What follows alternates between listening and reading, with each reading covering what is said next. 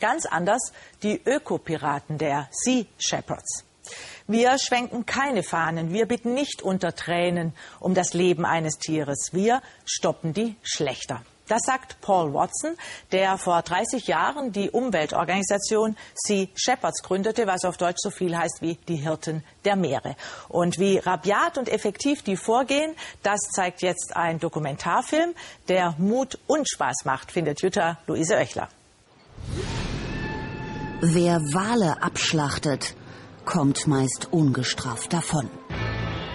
Aber er kennt da kein Pardon der berühmt-berüchtigte Umweltpirat Paul Watson.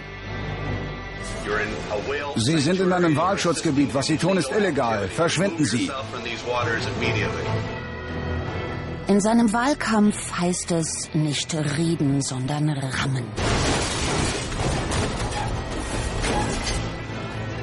Seine militanten Methoden sind umstritten. Für die einen ist er ein Gott, für die anderen ein Ökoterrorist. Sie schimpfen mich Terrorist. Aber wenn sogar der Dalai Lama von den Chinesen als Terrorist bezeichnet wird, kann ich damit leben. Wer ist dieser Rebell der Meere? Seit seiner Kindheit kämpft der Kanadier für den Schutz der Meere und gegen ihre rücksichtslose Ausbeutung. Er gehört zu den Gründungsmitgliedern von Greenpeace, da ist er gerade 20.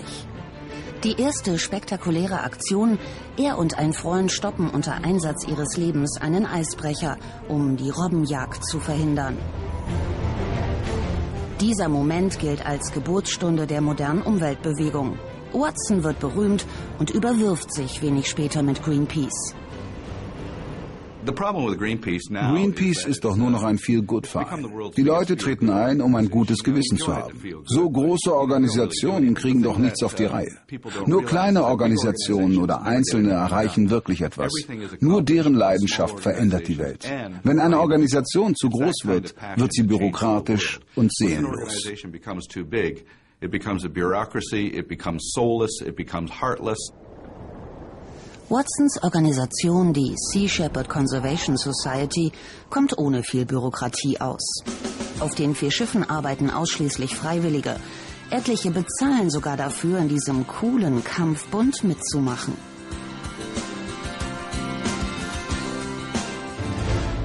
Wehe, wenn Watson kommt. Wir sind ein Stoßtrupp, kein Diplomatenverein. Mit ihren waghalsigen Aktionen machen sie den Job, den eigentlich Küstenwachen und Marine tun sollten. Selbstjustiz? Es gibt all diese schönen internationalen Schutzgesetze, aber keiner setzt sie durch. Wir Sea Shepherds brechen keine Gesetze, wir erhalten sie aufrecht. In 35 Jahren sind wir noch kein einziges Mal wegen einer Straftat verurteilt worden. Der Zweck heiligt die Mittel. Besonders solche Blutorgien will er verhindern. Dazu setzt Watson auf Guerillataktiken. Die Sea Shepherds werfen Rauch- und Stinkbomben und schießen mit Wasserkanonen. Manchmal wird die Bordkanone auch mit faulen Eiern geladen.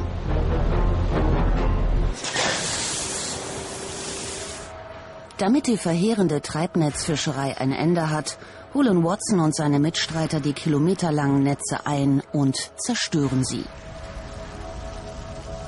Wen all das nicht abschreckt, der wird gejagt und gerammt.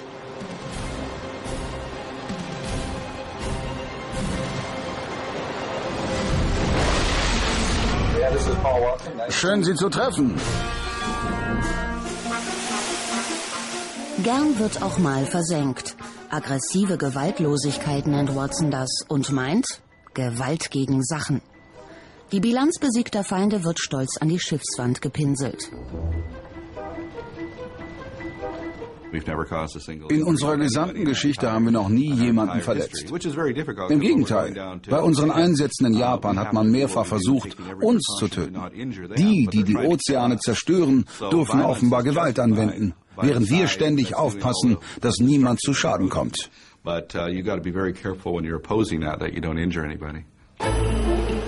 Zu Watsons Erfolgskonzept gehört der äußerst kreative Umgang mit den Medien.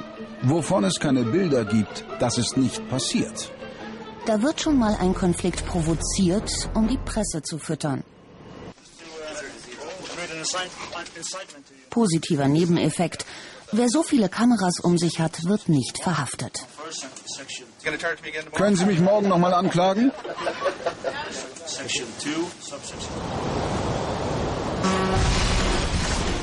Schiffe versenken macht Spaß. Und der spielt eine große Rolle bei den Sea Shepherds und auch im Film. Bekenntnisse eines Ökoterroristen ist amüsant, abenteuerlich und aufrüttelnd zugleich. Erfrischend anders. Kein Betroffenheitsgejammer, keine leeren Parolen.